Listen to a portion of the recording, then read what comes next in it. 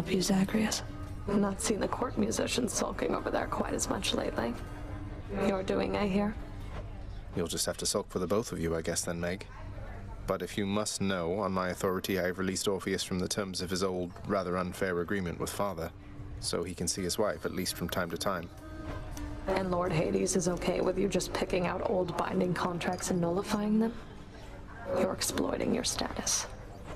I'm doing no such thing. Father wanted me involved in all this business with his pacts and presiding over the dead, then fine. But I'll do it my way. You always do.